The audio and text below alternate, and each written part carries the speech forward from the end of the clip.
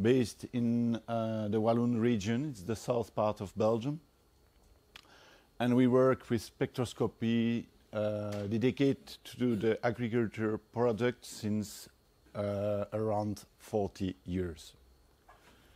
And we try to predict new models based on these techniques. My presentation will be uh, in three parts. First of all, I will make a small introduction to the mid-infrared spectroscopy. And after that, I will uh, focus on uh, some practical use of mid-infrared and some topics very important to know. And I, after that, will finish uh, by uh, giving you a concrete uh, development of models that we have developed in G plus E project. Okay. The first part is the introduction to the mid-infrared spectroscopy, and also I will ask about uh, chemometrics. As you know, uh, the spectroscopy is the science to study uh, the interaction between matter and light, and it's based on the electromagnetic radiation.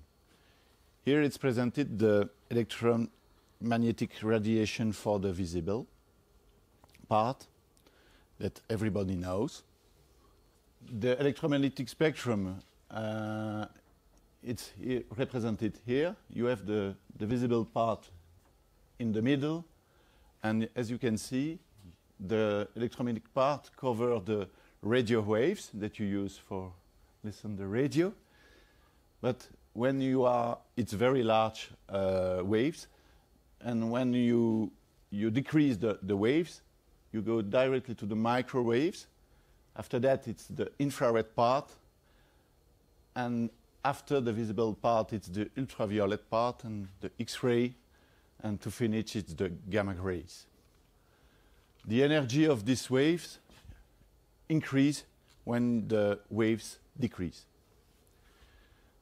We will see more in detail the infrared part, which is very used uh, in, in some techniques using spectroscopy. But there are also other techniques who use this electromagnetic uh, radiation.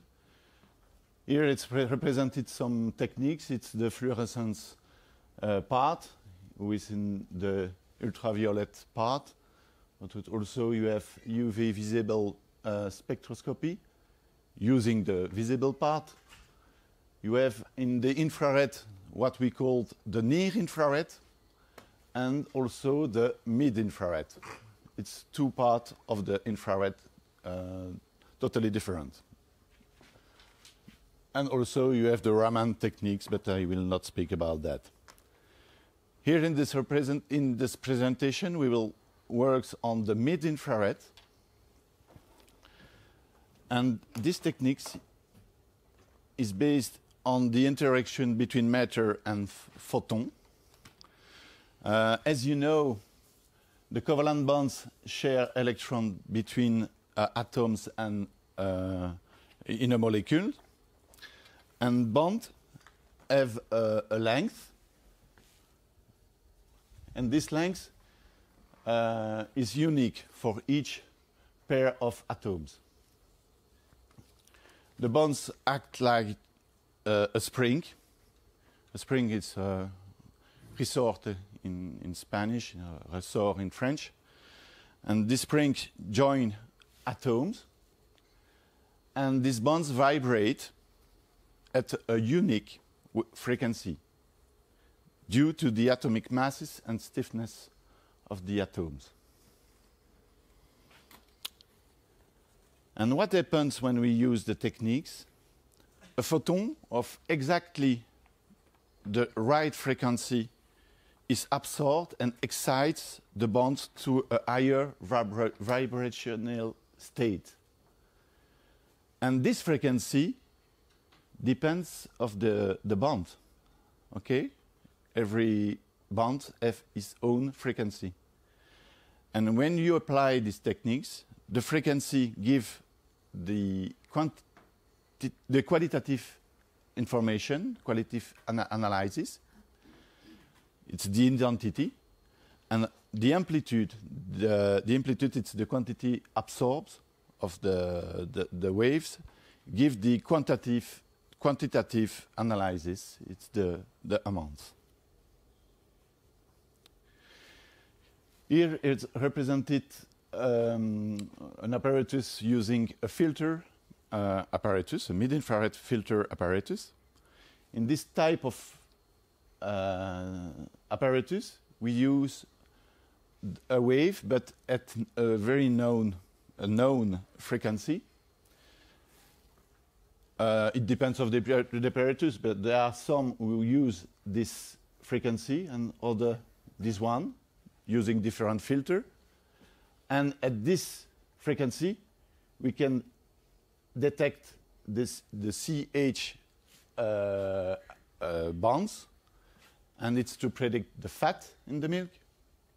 And if you use the other one, the nitrogen and H atoms at this frequency, we are able to predict protein. It's an old technique used since the 60s. Uh, but the problem, we need to have an apparatus or filter uh, different from each type of bonds that you want to detect. And since uh, 12 years, no, 20 years now, we had now um, what we call a mid FTIR apparatus. It's a transformé Fourier uh, apparatus. And this apparatus have the capacity to measure the whole wavelength of the mid-infrared at the same times. And you are able to, to measure the absorbance at all these wavelengths. And you have, for example, the absorbance of the wavelengths 1 to wavelengths 1000. Because the mid-infrared is about 1000 wavelengths. And when you have this uh, wavelength, uh, this all these uh, absorbance at all wavelengths, you are able to what you you are able to to, to design what we call a spectra. This is a spectra, a mid-infrared spectra. And as you can see, we can find the wavelength of the fat in this spectra, but also the wavelength of the protein at the same time. And uh, the, the machines that we had in the, the milking uh, laboratories at this stage, it's a black box.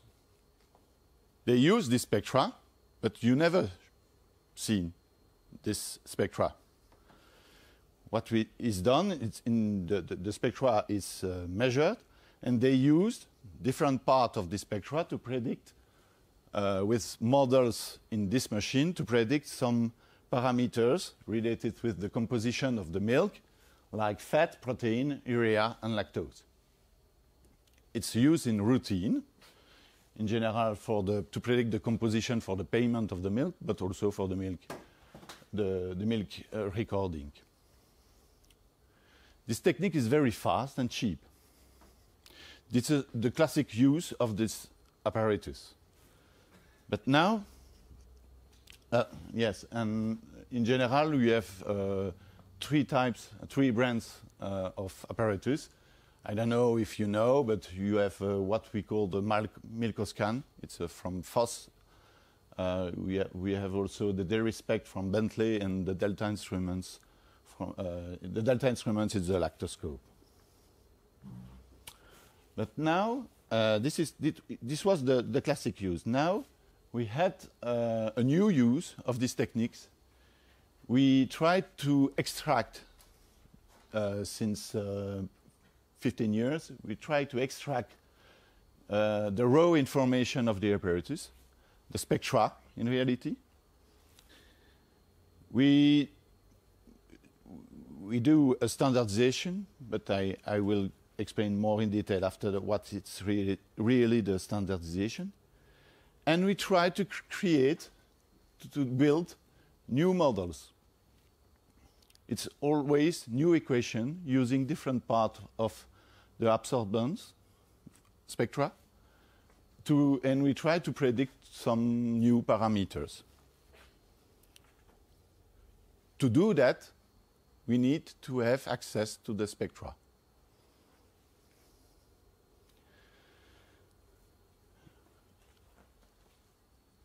Um, and to build the model, what we need is the spectra, as I said, but also we need to have reference values.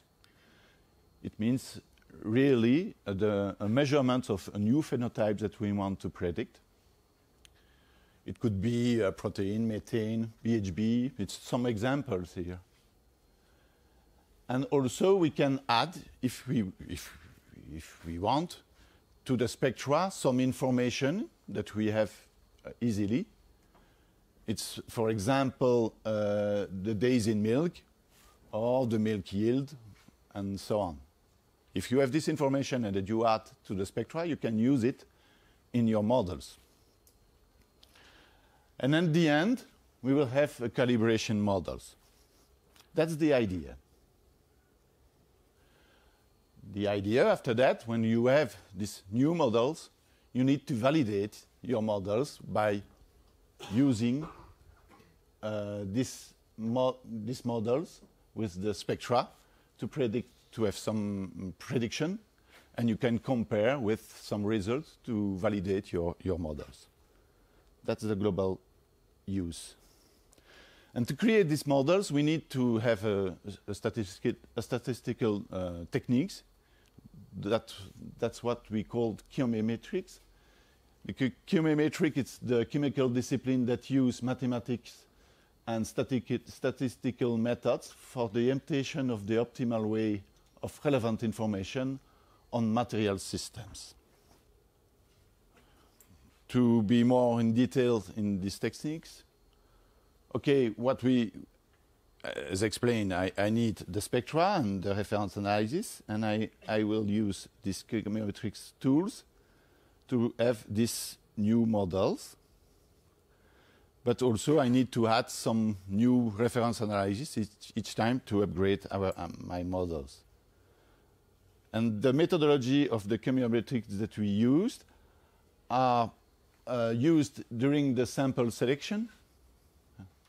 We, we, we, we use uh, chemometric to select uh, the, the, the, spectra. We also use chemometric and statistics to, to explore our data because sometimes we need to detect the outlier.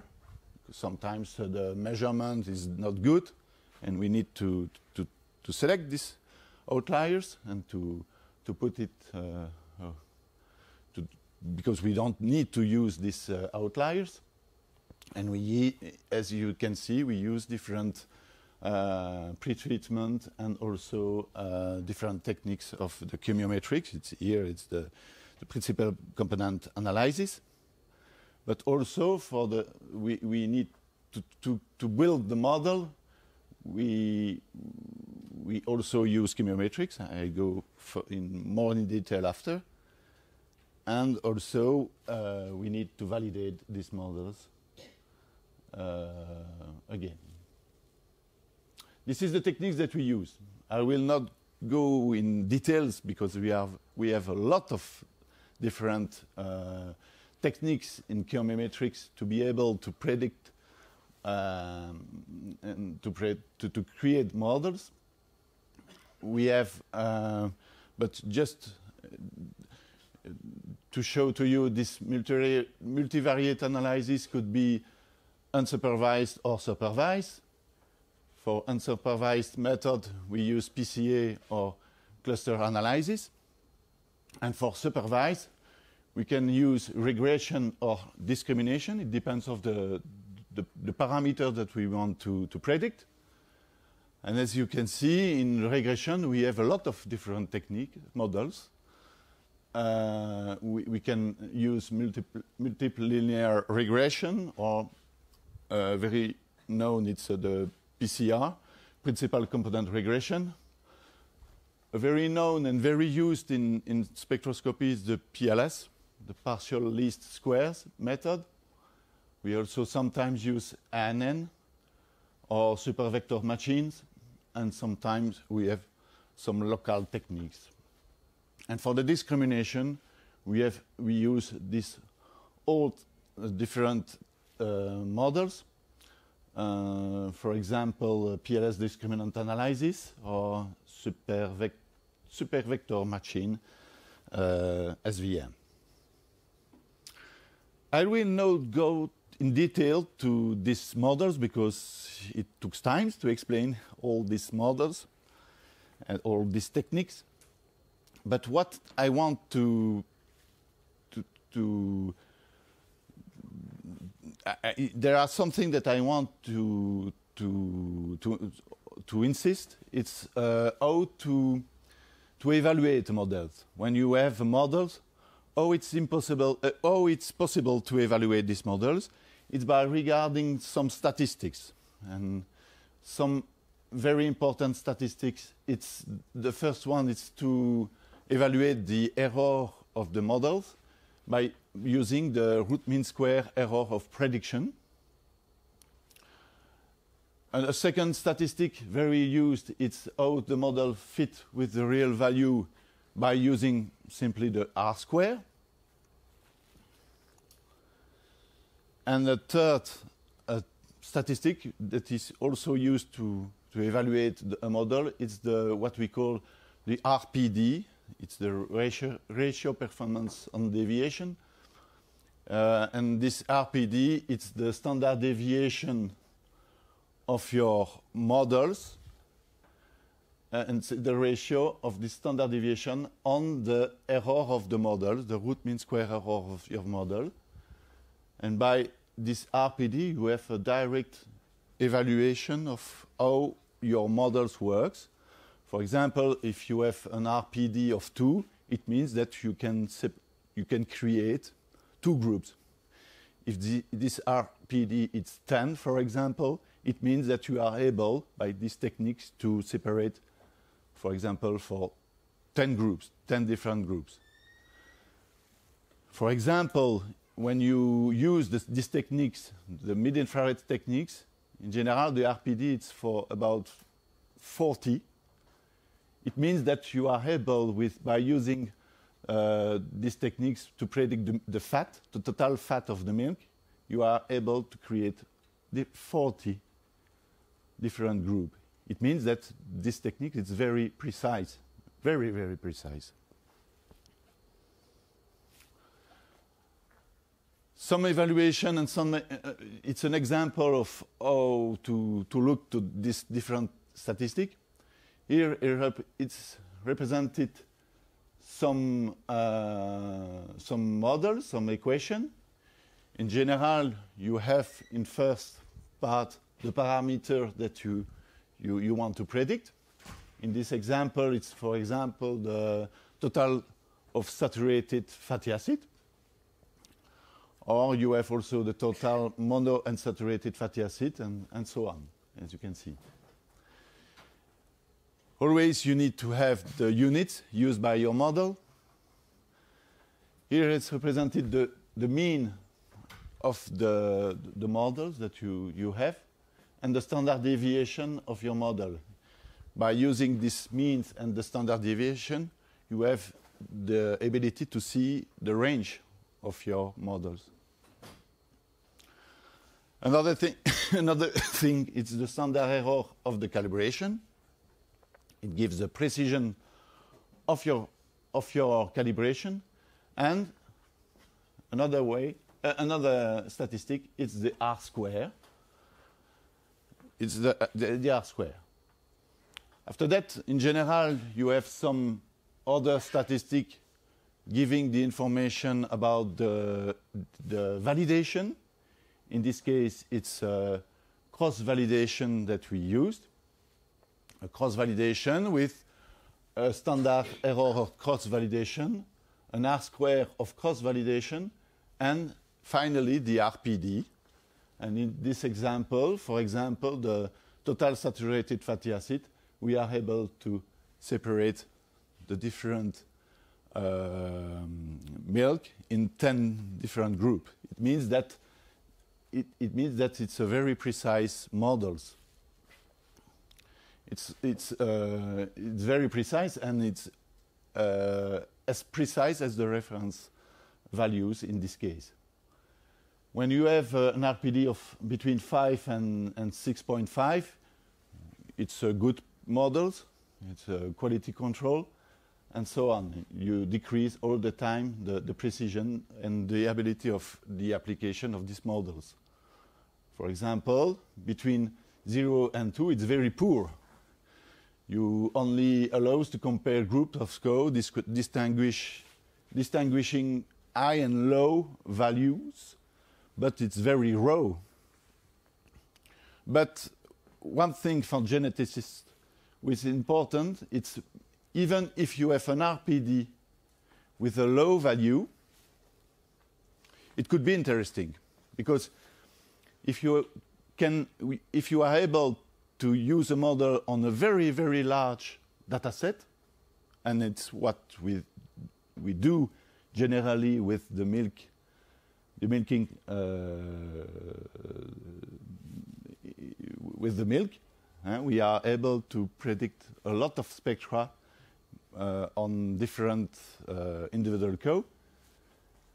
And uh, what is important, it's uh, with low uh, statistics models, we are able to predict a lot of data, and even if it's poor, uh, it, it, gives to us uh, a result. I'm not very clear. this is the, the end of the first part. I don't know if you have some question related to this uh, introduction to the mid-infrared. Please ask me if I'm not clear. Just regarding the, basics of uh, spectra information, uh, where we're focusing on the mid-infrared part. What about the lower and the upper infrared? Can you comment on that? I'll, I'll, I'll, be very pleased if I know why focus on the medium infrared rather than the uppers and also the lower infrareds. That's one, one, one question. And the other is uh, on the spectral graph. Uh, there, there are also values below the threshold. What does those what do those values below the threshold refer? And how can we interpret or understand those values. And my third question is, you have, uh, you shown us a list of uh, models as uh, PLS and so on. So which one is most appropriate and frequently used for the application of uh, this information to uh, evaluate and predict but whatever, whatever you want to predict with the mm. uh, milk or uh, other, other types of data. For example, we have cells first question is the, around the difference between near infrared and mid infrared. Yes. What we need to remind, to, to take into account, uh, when you use spectroscopy for milk, in general, it's mid infrared because In general, this technique is more dedicated to liquid samples. You need to, to take in mind that uh, for the near infrared, for example, this technique is very used with uh, solid samples. For feed ration, for example, all the time it's the, the near infrared who is used. Uh, it's a little bit complicated to explain why, uh, but uh, you need to. It, it depends of the energy of the the, the waves, um, because the mid infrared uh, we have a lower energy, and it, it means that you have uh, you, you, need to to use very very thin cell by using the, the mid-infrared. very thin cells means that you have a very thin part In general, of the you need samples to have who can be measured. samples without okay. uh, water. When, we, when we say thin, it's very thin. eh? It's a micrometers uh, length of the cell. But for the the near infrared, as you have as you have more energy in your waves, you are able to measure larger samples. For example, we have cell of uh, around uh, one, one uh, centime- uh, one centimeter. Uh, it can be used, and for the solid, the it helps us to, to measure this, uh, these samples, uh, these solid samples. Also, they are the interaction of the water who, who, who doesn't help the, the near infrared. You can retain this. In general, you need to have samples without uh, water by using the near infrared. The the the theory of this the near infrared is different from the theory of the mid infrared. What I explained with the the springs between the bounds and so on, it's for the mid infrared. For the near infrared, it's anon- another idea. It's not exactly the same theory. Okay, that's why we need to use different techniques for the liquid and the, the, the, the near infra and the solid. But, but near infrared sometimes could be used for liquid.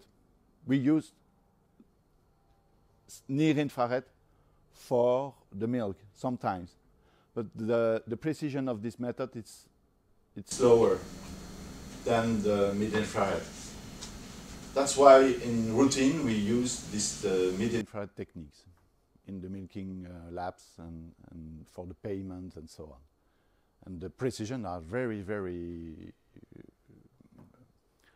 are very, very better with uh, the, Uh, technique.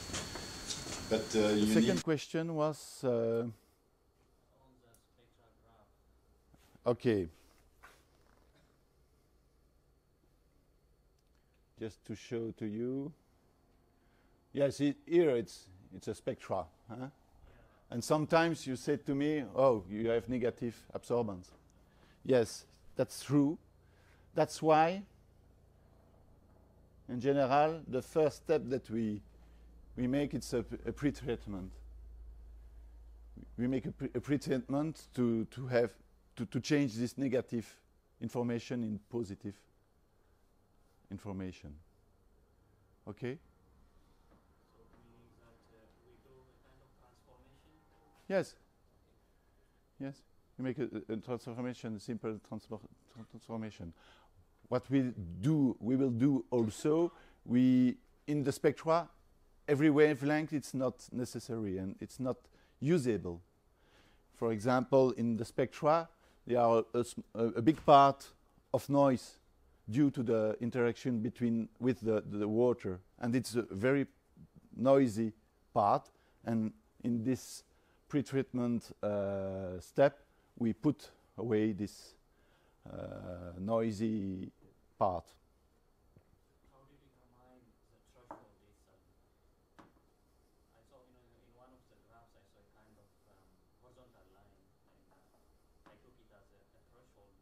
It's a zero. Okay. It's an absorbance. Huh? Uh, it depends of the apparatus. Sometimes it, it gives to us the, the, the, the transmission and sometimes the, the absorbance. And, but uh, it's a, i- i- the, the lower part is zero and the, the upper part it's uh, 100. It's an, an absorbance. Okay? And the third question was is.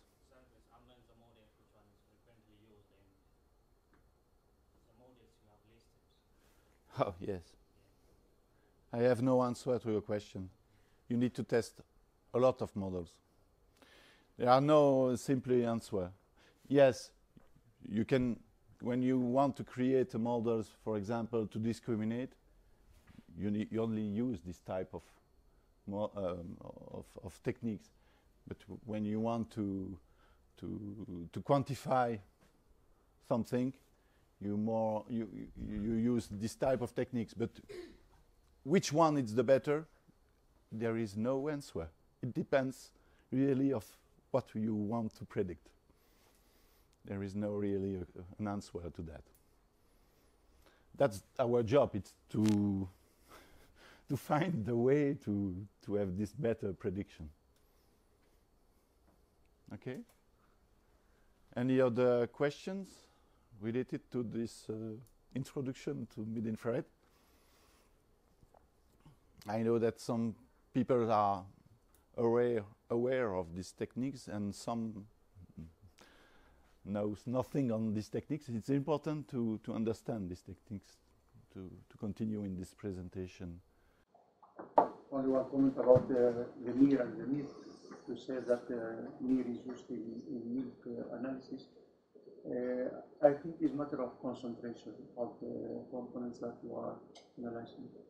Uh, in fact, uh, in robots, you can use NIR to, to determine the percentage of fat and protein, but if you need to analyze very low concentration, for, for progesterone or something like that, uh.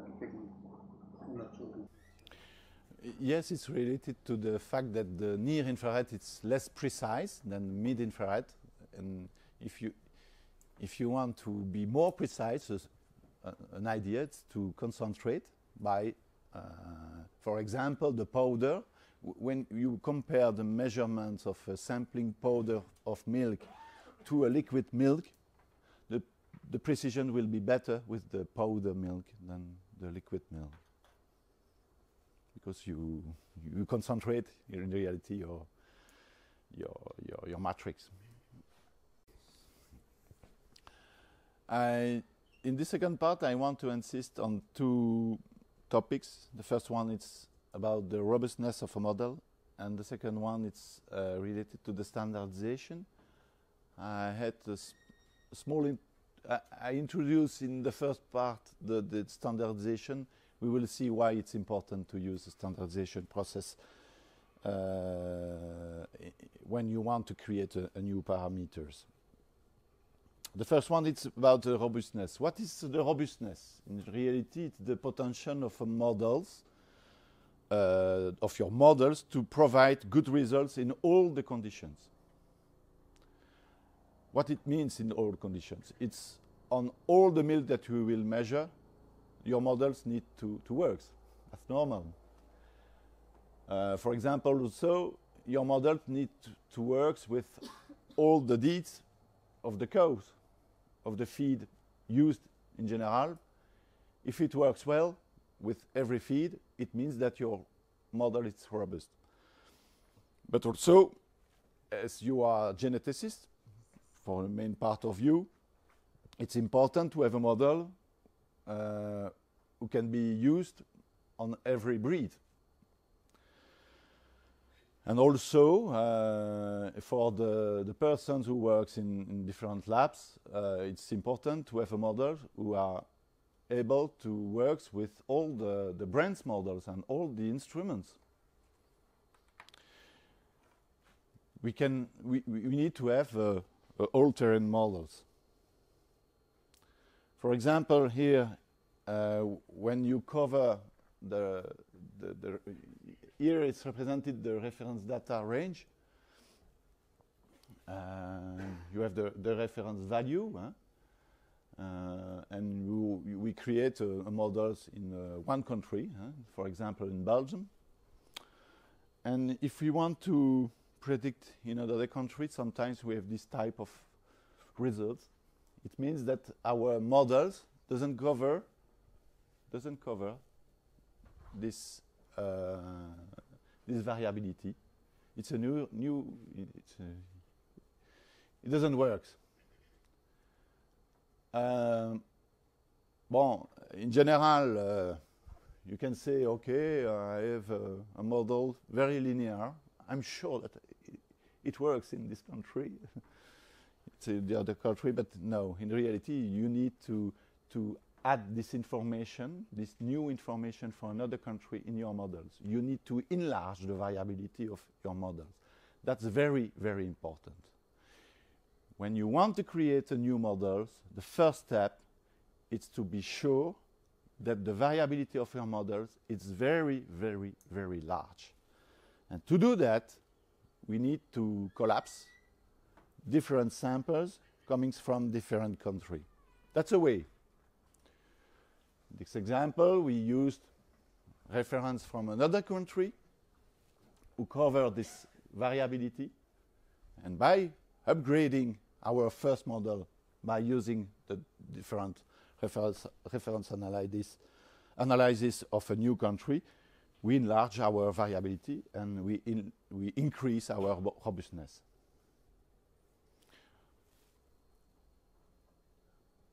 An important thing, it's very difficult to develop a robust models in only one country. Because in general, we have no, not the whole variability in only one country. That is, that's why it's very important to, to, to, to build a model with uh, good collaboration between countries. The international collaboration is needed. And the different data set cover complementary variability. An example is represented here. It's a model that we create to predict the methane emission by the cows. Um, in the very beginning, we only used results from Belgium, from the Walloon region part, and we tried to create and to organize different experiments to enlarge our variability. But what we see, what we saw by using different reference analysis coming from another country, from Ireland, we saw that we don't cover re in reality the whole range. We discovered that in Ireland we had cows with lower emission of methane due to the fact they used a lot of pasture in this country and so on, and also they use a different breed and so on. And that's why it's very important to, to organize uh, an, inter an, international collaboration to, to, to enlarge this variability. And now we exchange with a lot of different partners to be sure that the robustness of our model is done, is increased.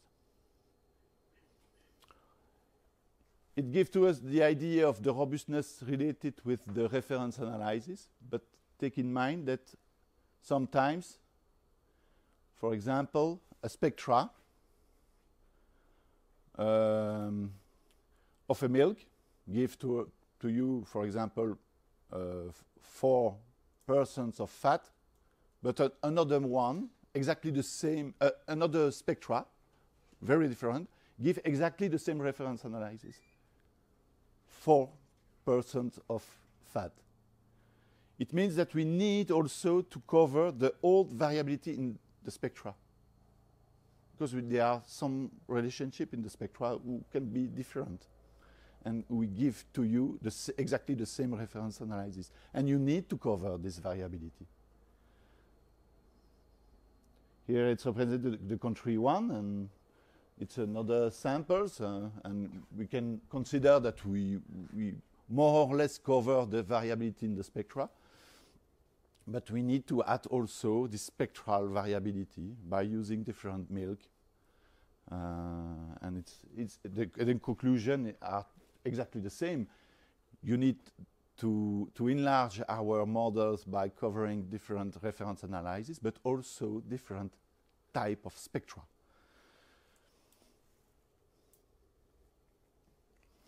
There are a lot of things, a lot of parameters who influence the robustness.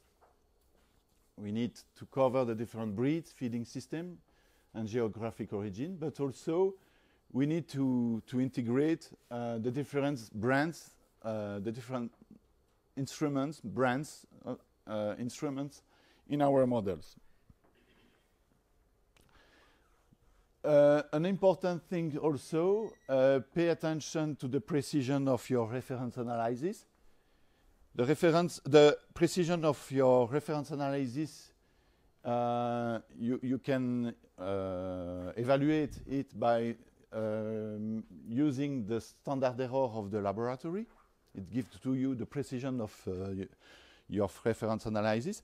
And if you have uh, a precision uh, uh, um, standard error of the laboratory very low, pay attention that uh, it it will be it, it will have an influence on your models. In fact, the R square maximum that you you will have depends of this standard error of the laboratory. Lower is the precision of your reference analysis. Lower, enfin, uh, uh, lower R square you you will have in maximum.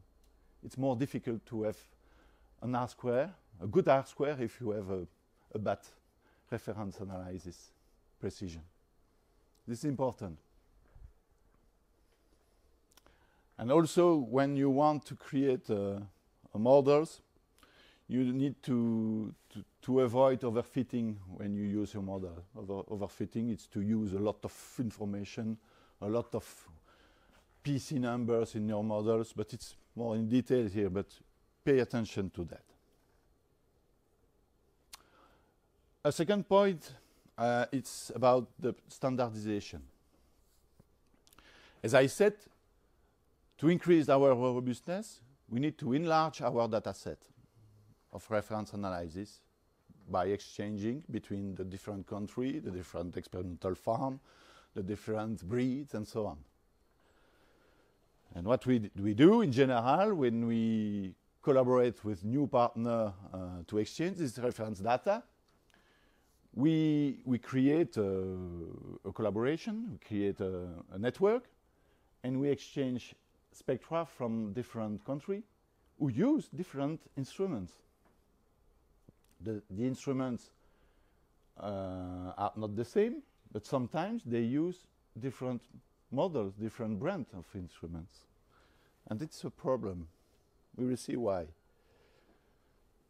Different instruments means that uh, you can have difference if you measure exactly the same milk uh, with two instruments, in reality, you will not obtain exactly the same spectra.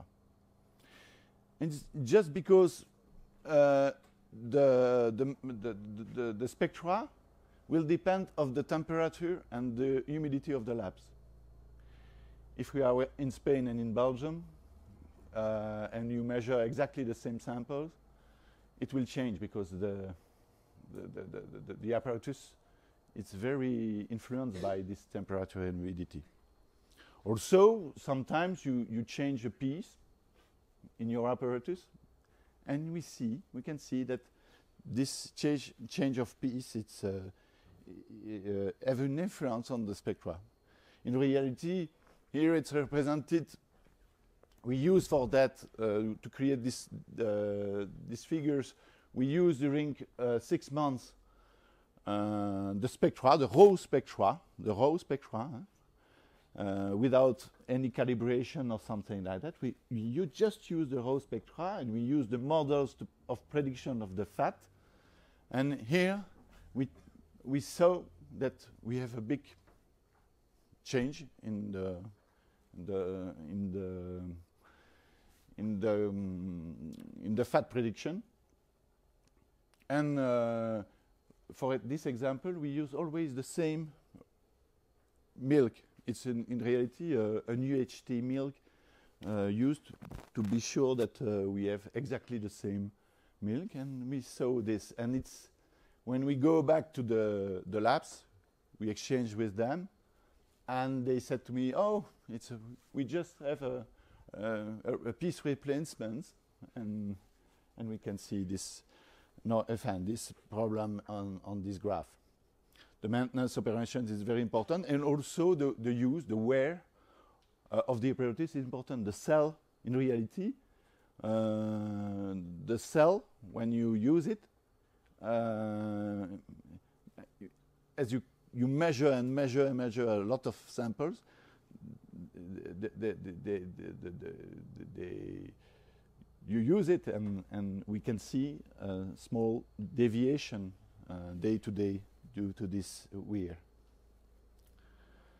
And also, as I said before, the instrument could be different. We use different brands, different models. Here is rep represented the, the PCA of the spectra of informative wave number for five common samples measured with 45 instruments from the same brand. It's a representation of the variability, the spectral variability that we have when you measure exactly the same samples in different labs on different apparatus. As you can see, for here, for example, it's uh, one apparatus in red in one country. And here, it's another one in another country. As you can see, the spectra given by these different apparatus are not exactly the same. And it's important. For example, if we use these five common samples uh, and we measure on uh, a, first apparatus, here it's a, a FOSS apparatus that we call FOSS1, another one it's the delta 1, and here it's represented the, the spectra. As you can see, it looks totally different. And when you want to use a model, a common model on this spectra, as you can see here, it's the, the, the, the, methane models, uh, and you use it on the, the FOSS models. With these FOSS models, it, it was the, the apparatus that we used to create these models, and as you can see, it works well. It works well, but if you want to predict on the delta instrument, it's impossible to use it. We have error. It doesn't work. The representation, it's like that. If we want to compare the delta prediction to the first prediction, we have nothing. It means that it's not possible to use a common models on two instruments from two brands. It's good to know. but you will say to me, oh, yes, because you, you use a different brand apparatus. And uh, a constructor will say, oh, my model only works on my instruments. You need to use a FOSS apparatus. Okay, we will try. Here it's represented two FOSS apparatus, FOSS1 and FOSS2. It was exactly the same uh, samples, five samples, and yes, it's true. The spectra seems to be similar. Seems because if you pay attention, we are sometimes we have some part very thin differences, but it's important because when you want to use the same models on these two apparatus, the first one is the same, exactly the same uh, result than previously, and the second one, as you can see, the error of the first two, the FOSS2, it's it's too large. It means that when you compare the FOSS2 and the FOSS1 prediction, it doesn't work. It means that it's not possible to use a common models on two apparatus of the same brand. That's a problem. But it's a known problem it's a known problem for the persons who works in, uh, with mid-infrared apparatus. In general, what we do to, because it's due to the fact that you, you have different apparatus, huh? and you, you need to, to, to, to make a correction to, to your spectra. Hmm? And in reality, what is done with uh, uh, with some components like fat, protein, lactose, urea, in general, in all the labs in the world, they use what we call uh, classical slope bias correction. Uh, and to do that, they always measure samples by using the reference analysis. And they, they, make, uh, they made a correction by slope and bi bias. It's what we call the, the, the, the correction. It's a,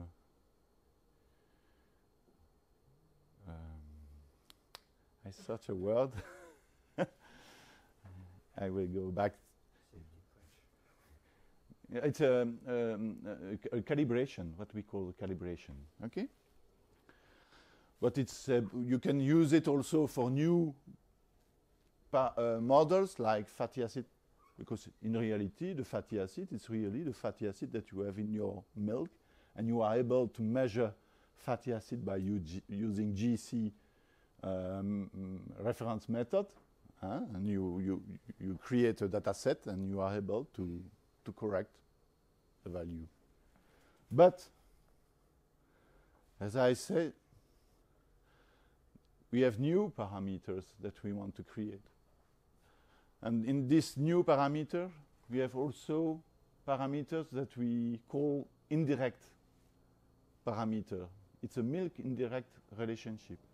For example, we are able to create models to predict the minerals the major minerals, calcium.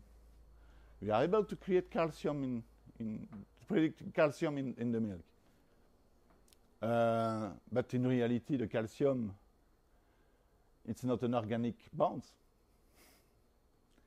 It's an indirect relationship that we have. It's the calcium, uh, it's not really the calcium that we predict. It's an indirect relationship. Or for example, the BHB, the beta hydroxybutyrate in the milk, the concentration are very, very, very low.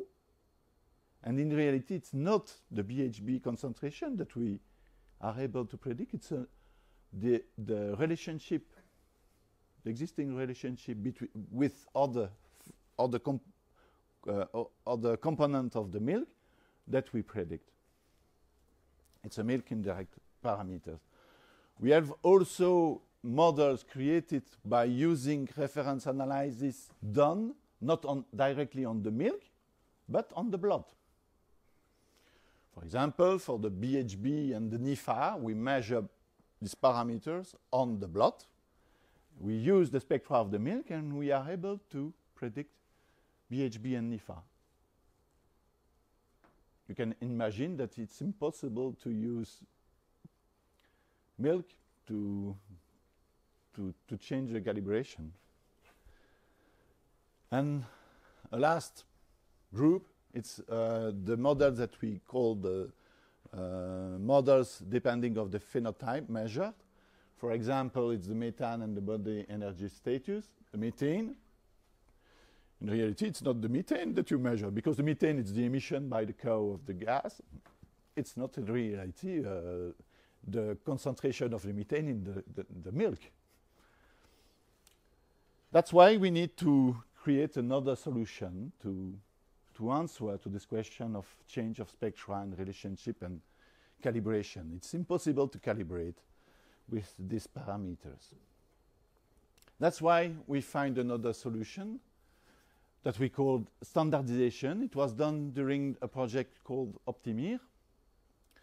And in this project, we don't want to calibrate and to change by correction and uh, bias and, and slope changes. But what we've done, it's directly to harmonize the spectra in a command format. By using this method, we are able to merge data, to create common models, to use these models on all the instruments, to stabilize the instruments in time, and also we are able to share technical and financial resources because when you want to measure, for example, the methane, it's, it's very expensive to measure by reference analysis. And by sharing this data, uh, you, you decrease your, your cost. But what is the, the principle of the, the standardization?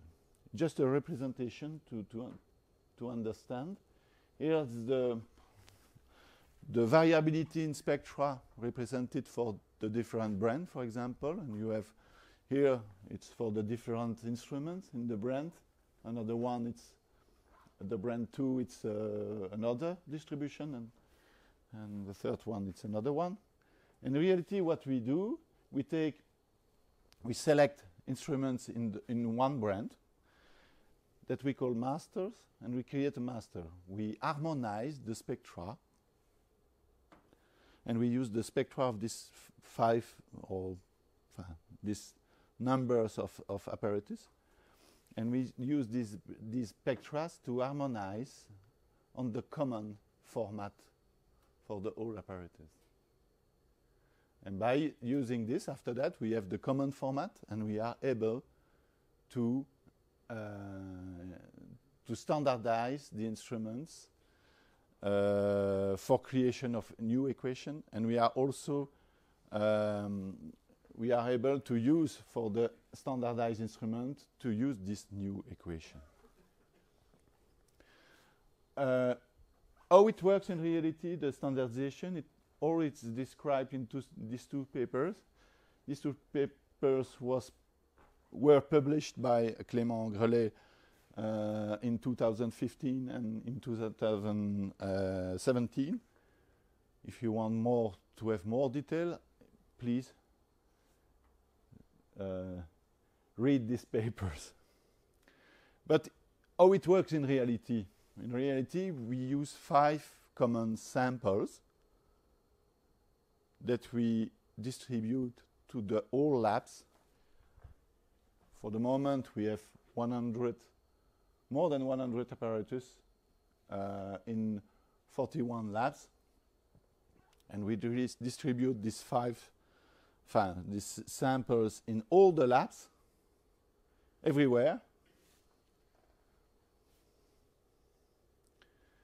And after that, we we correct the, the yes we, we harmonize the spectra by using a method that we called uh, piecewise direct standardization, a PDS mod, um, method.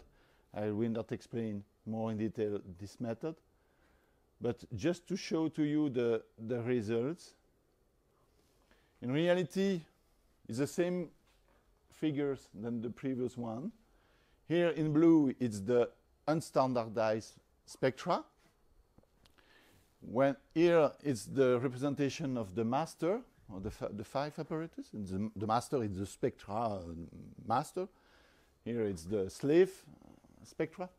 And after that, we standardize by using the PDS wise uh, method. And we, as you can see, the variability, the spectral variability decrease a lot by using this method. And we need to repeat this method each month. Each month, we distribute these samples everywhere in the 41 labs, and we recalculate each, each time new coefficient for every absorbance. We have a, a, a coefficient that who is able to correct the spectra to be sure that at the end, after the standardization process, we have exactly the same spectra for the same samples.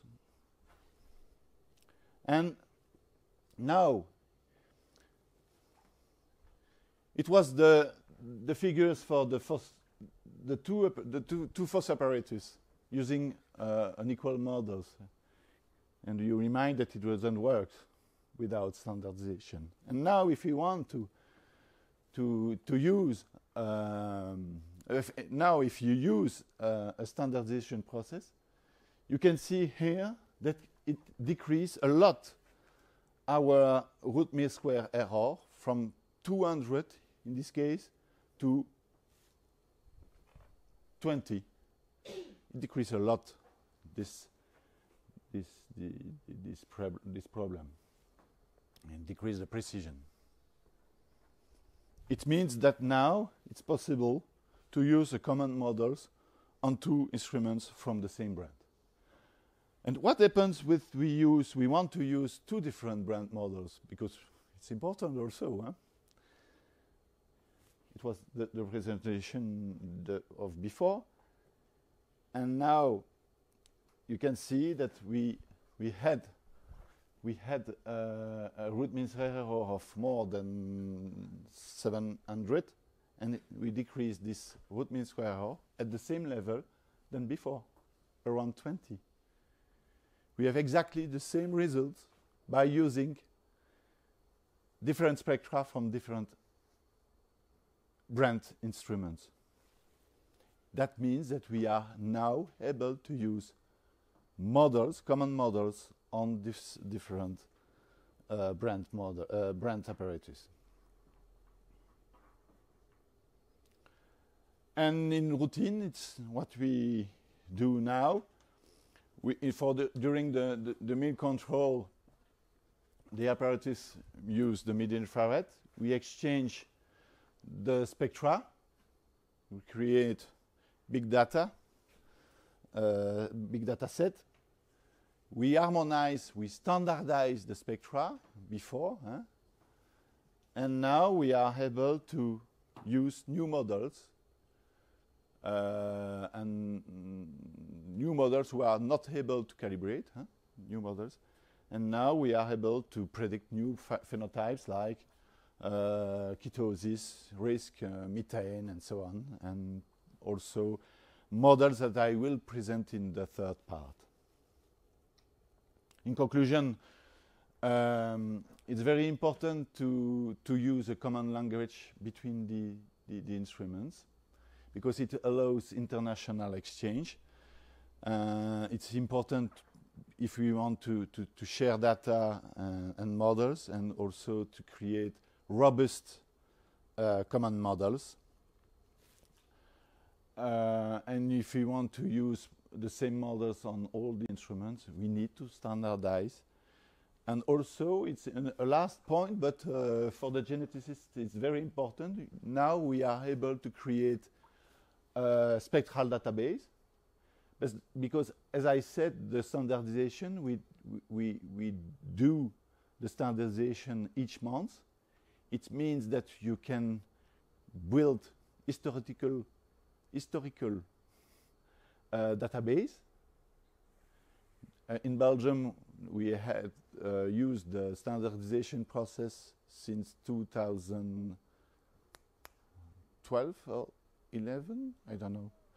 And now we have a big database and we are able to use it for the genetic, uh, the geneticist, because we are sure that the spectra of uh, 10 years ago are uh, the same that now. And we are able to predict some new models on, on, on spectra from a cow who is not still alive. That's the advantage of the, this, um, this standardization. It finished the second part. I don't know if you have questions. Thank you very much. If you calibrate the, the, uh, the equipment uh, in the master collection, because if I understand what you explain, your calibration uh, for all the between labs, it's only valid for a particular moment, no? Because if the conditions of the equipment in a master collection change uh, over time, calibrations will be different. Yes. Mm-hmm. Calibrate over time. Yes. The, the idea, you, you create coefficient in a fixed moment during a, a period, and in your when you build your, your database, you still uh, take in, into account the fact that you, you, you need to use the, the coefficient of calibration of the moment that you measure the, the, the, the spectra.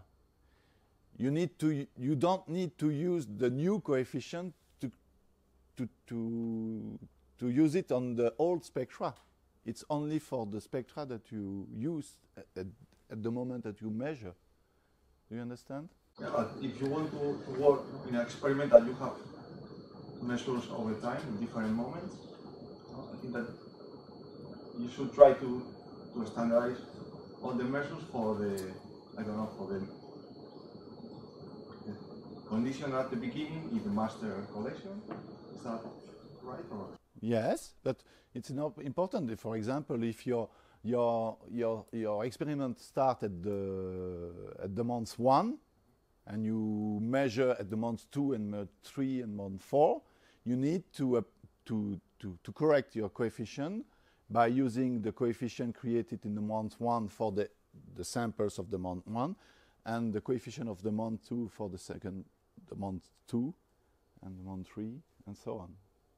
You need to use the same no, samples that you used in the first time, No, no? no, no. And what happens if the, if the conditions of the equipment change? The same equipment. Yes, but it's uh, in reality it's more complex than what I explained. But uh, in reality, um, we check by using other things. I, I, I, don't explain everything. By using other things, we check if uh, the operators that we use for the creation of the master uh, have no changed. Okay. Now it's the part three. It's more on the models that we have created during the G plus Z models. It's, uh, I will show to you two examples of the models. Uh, two, some examples of models related to the metabolic status prediction and also to the nitrogen effic efficiency. The first one, uh, it's uh, works done by Clément, uh, and it's directly related with the objective of the, of the project. Uh, the, the idea is to, in the final step of the, the project, it's to, to use GWAS and also to to make some experiments in, in the, the management study. But the first step of the project, the G project, it's to create models, uh, to create proxies uh, related to the milk glycan metabolites, but with mid-infrared spectra. Why mid-infrared spectra? Because it's very cheap and, and you can use it everywhere. Uh, in general, all the country have these own instruments, mid-infrared instruments, and uh, and it's still used in the milk recording system. Huh? And in general, we have relationships with the genotypes and so on. That's why we, we, we want to, to use this method.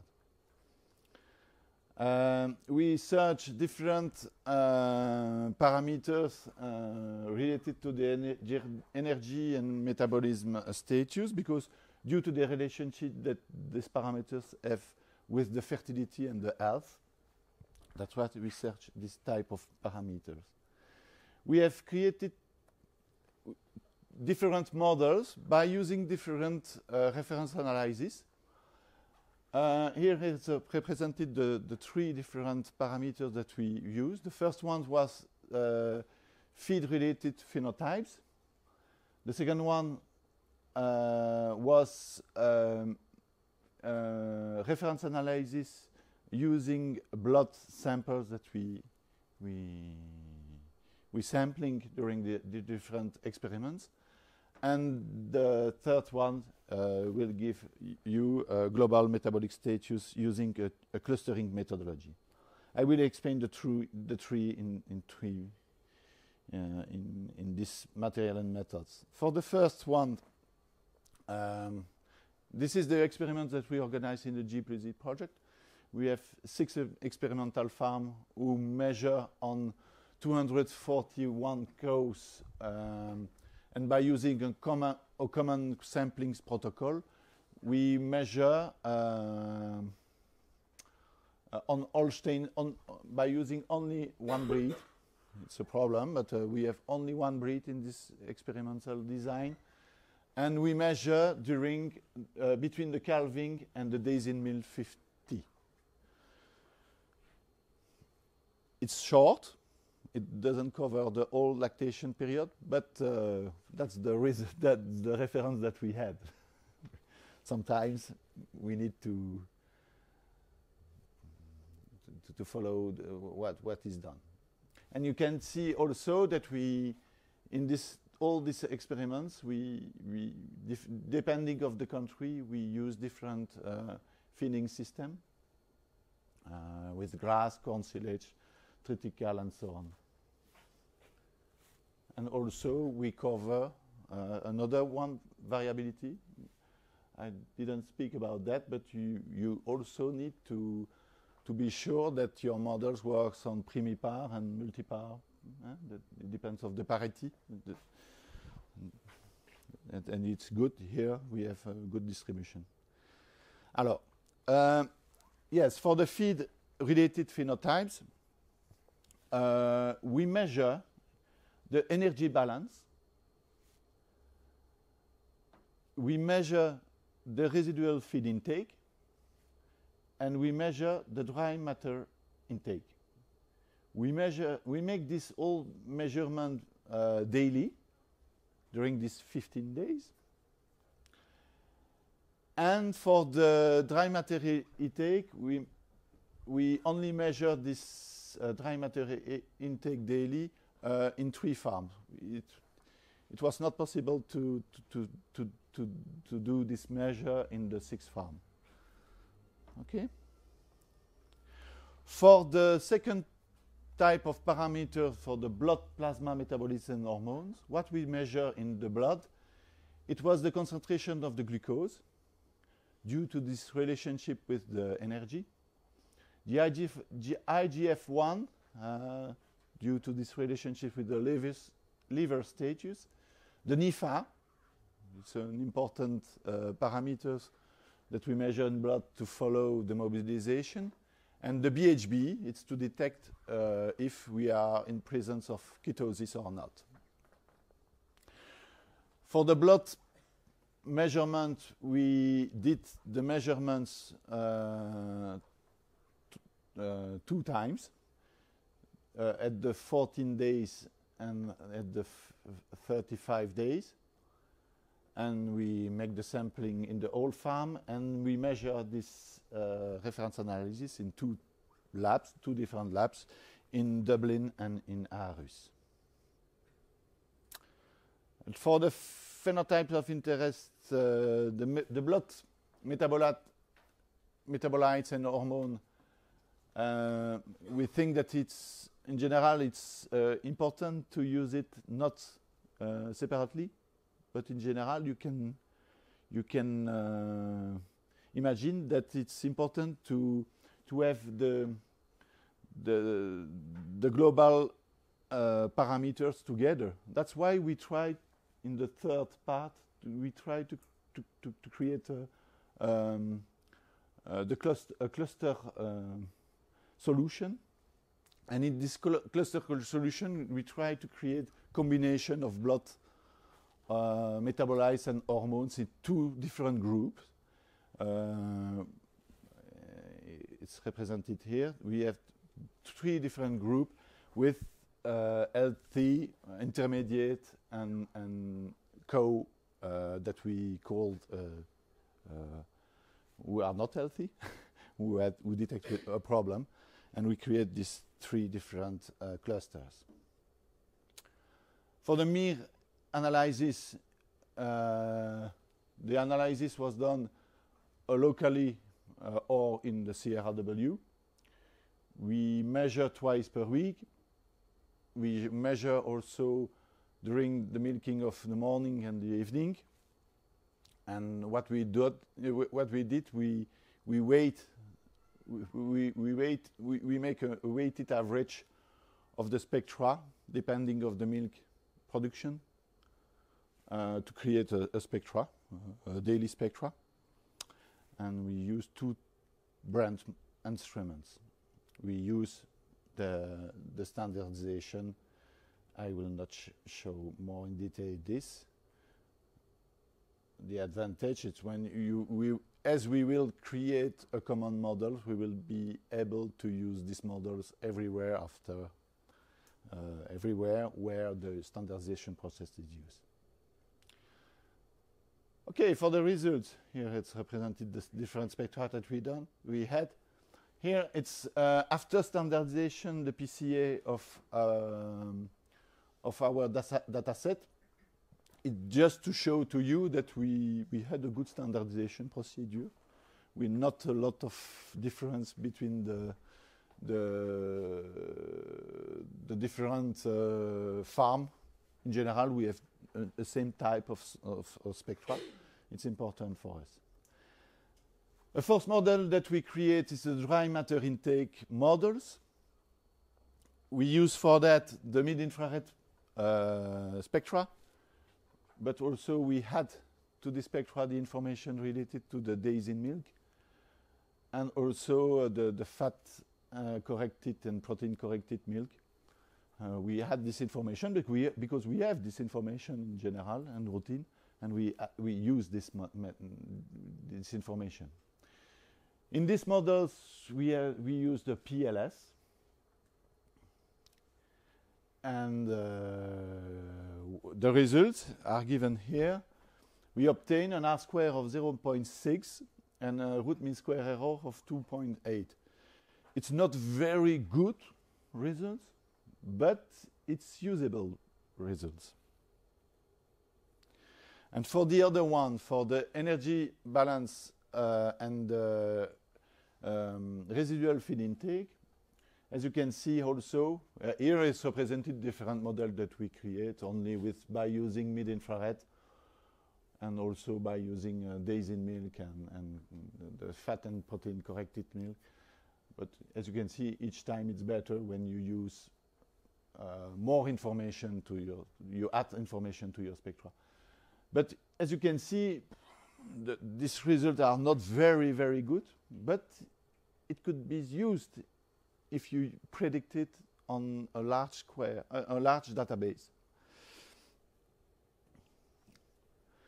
And another group of uh, predictions, uh, it's based on the metabolites measured in the blood.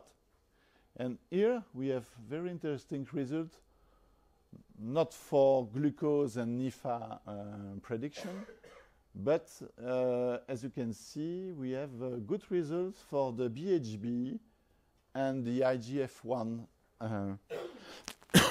the IGF-1 uh, metabolite in the blood. We are able to, to predict relatively mm, in, in good, with good statistics these parameters. And it's important, for example, if you look in this graph, this is the representation of uh, the measured blood BHB and the predicted blood BHB. As you can see, with an R square of 0.7, it, it, looks not very precise, but we, if we use uh, a threshold of uh, 1.2, we are able, we are able to, to we have an accuracy of um, a global accuracy of 92%. It means that we are able to classify with a good, uh, with a, a, relatively good precision of 92%. It means that we can use it in we can use it in, in, in routine to, to try to detect the BHB. It's for the ketosis detection. We are able to, to, to to, to, to, to use these models to detect um, cows with potential problem of ketosis. And the last point is related to the clusters. As I said to you, um, when you look to the metabolites in the, in the blood, okay, it's important to have the BHB. Uh, you can you can you can look for the BHB only.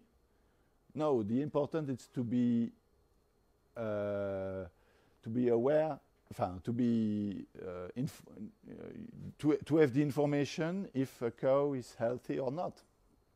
And to do that, you need to have models, uh, tools, who are who is able to detect a lot of potential problem, healthy problem, and as you can see, we have created uh, three different groups who use different glucose, uh, glucose IGF-1, uh, NEFA, and BHB.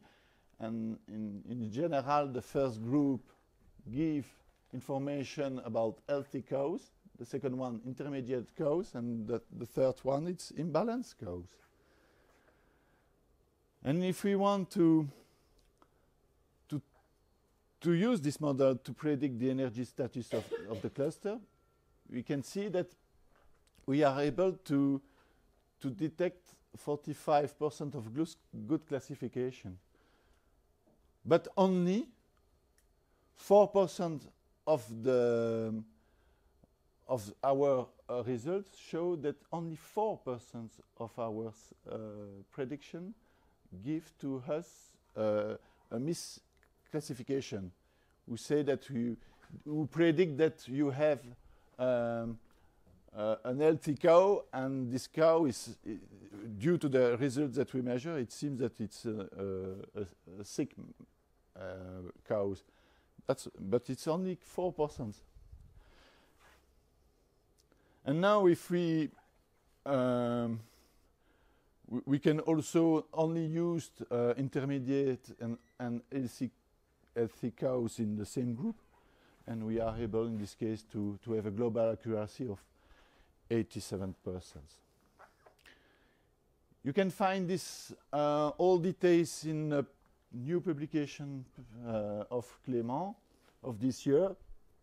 And what is important, it's that uh, it seems that we can create uh, different models uh, on energy status.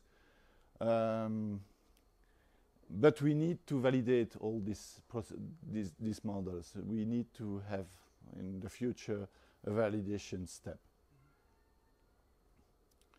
But we can imagine that we, we, we imagine that we, we can use these uh, models to predict uh, results to be used in genomics. The last point that I want to present to you is the model that we have created and its first model, very first model to create models related to uh, nitrogen efficiency. It's a very first approach. Uh, we use, in reality, we used the first results to, to see, uh, to, to, to create a first approach to see if we are able or not to, to predict this uh, uh, nitrogen deficiency. And it's important, the nitrogen deficiency, because it's a, uh, as you know, the cost of the protein is very important for uh, in, in, in, dairy production. Uh, a poor nitrogen deficiency uh, is affecting the profitability of, of the of, the, the farm. Also, uh, nitrogen have a big impo importance on environmental environmental impact uh, in, due to this relationship with ammonia and oxides emission, and also due to the leaching in water resource, huh, what we call eutrophication. Um, also, nitrogen efficiency have a potential negative impact on reproductive performances, and also uh, have a potential negative impact on the milk processing quality for the cheese making ability of the milk. Uh. Okay, as you know, nitrogen in milk is easy to to measure. We always measure protein with uh, mid-infrared spectra, but uh, to predict the potential uh, presence of nitrogen in feed, we need to. That's the the part that we need to to to test. To create these models, we use uh, data from three farms in UK, Denmark, and Ireland. It's only 136 cows, and it's uh, exactly the same uh, experimental design that before. It's only Holstein and it's only uh, we cover only the, the very beginning of the lactation period. We measure the dry matter intake uh, daily, and we smooth in three days. We feed the feed composition also. It's analyzed weekly. Uh, the milk pro production recorded daily, uh, and also an important fact in this experimental design, we have no idea of the urine production and urine data, and also we have no idea of the feces data. It's important. As I said, it's an experimental design just to, to check if there is a potential to use it. We have no built this experimental design to, to have a, a final uh, models. As I said, we have no information in urine and feces. And as we have no this information, maybe, maybe, uh, the efficiency potentially, uh, we, we, maybe we overestimate potentially the efficiency. It means that uh, we uh, underestimated the losses of nitrogen we need to be aware of that, but uh, we don't. It's impossible. It's impossible for for us to to change nothing about that. Okay, the spectra are taken exactly in the same condition than previously. And for the mid-infrared calibration, uh, we have no removing of outliers. We use in this case predictor uh, the spectra we had the parity and the milk yield. To validate our models, we use two different procedures. We use the cross-validation procedure and we use also the external cause validation.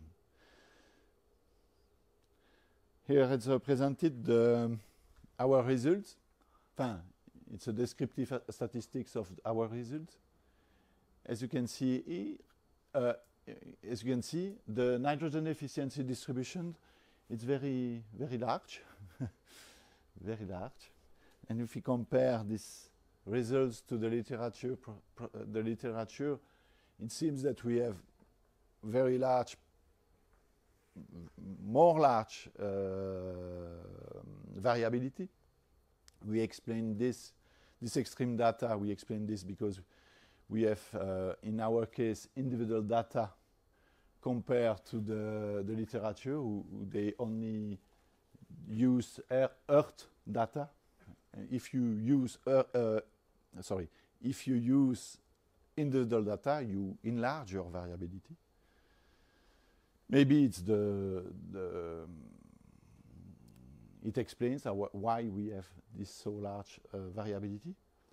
And also we see that we had some very high efficiency. Uh, maybe it's explained because we are, as I said, we are in the very beginning of the lac lactation period. And maybe it explains why we have this uh, high efficiency results.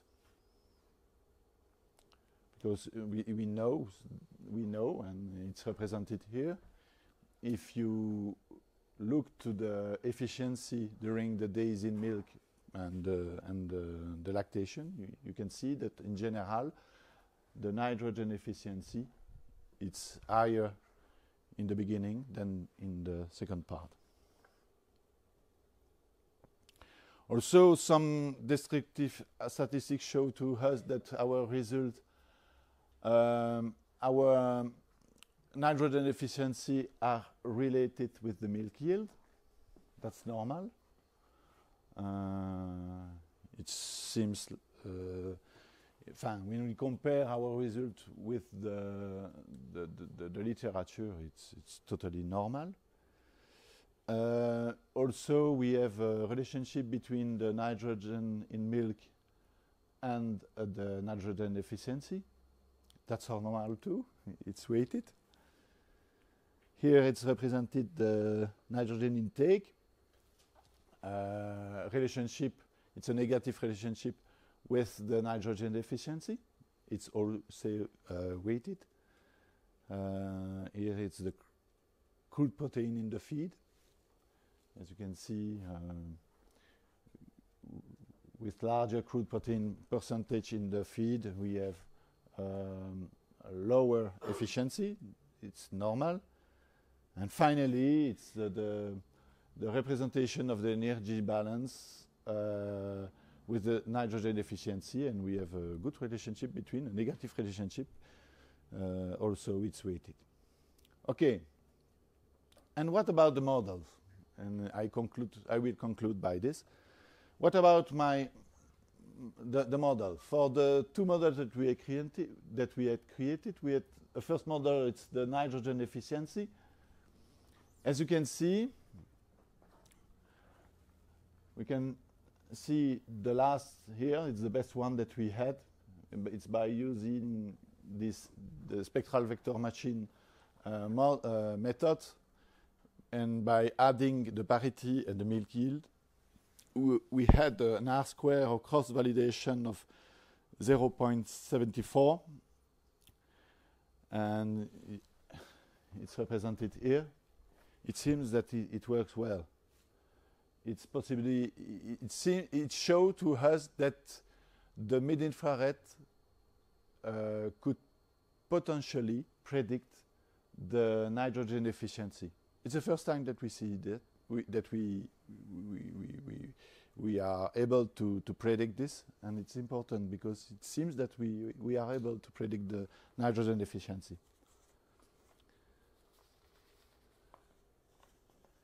Uh, here it's the result given by another validation. It's not in cross-validation, but uh, in, in external co-validation. And our models show that, uh, in general, our uh, results are, are good. The performance are still good for the cows, for the cows. It confirms the, the potential of the, of the models. And the last models that I want to present today, it's the nitrogen losses. And um, as you can see, uh, the last models here have also relatively good results uh, and it seems that it's also possible to estimate the nitrogen losses with fair error. But as said, it's very first result. We need to confirm this study. We need to validate our models. And we need to exchange a lot of data because we are at the very beginning of these models. But it seems that we have some possibility to to, to predict these types of uh, nitrogen losses and efficiency. Uh, I just remind in my conclusion that the robustness needs to be increased by exchanging data. That's important because at this stage, the model that we created, we, we, we, we, we couldn't imagine that these models could be distributed everywhere and we are not able to say, oh, it works. No, it's first results we need to, to continue the works. But we can use it in, to test the genomics. That's we, we, in research, it could be done. And also an important last point, if we want to be more, to, understand more in detail this first model, we need to, to, to, to take the nitrogen and the, the energy uh, balance into we need to, to take into account in our models. And to do that, we need to measure the faeces nitrogen losses and uh, urine uh, nitrogen losses. Okay, it's finished my presentation. If you want in the future one more trained in the modeling and, and also in chemometrics, we organize each year a, a training in, um, in our department. And the next year it will be in March. You have all the information here. Just write the, the address, the email address of my colleague uh, Juan Fernandez. It's a very interesting uh, training because you, after that, normally you are more or less able to create your own models, and it's uh, that's the idea by, using by using some modeling approach, different modeling approach. Okay, thank you very much.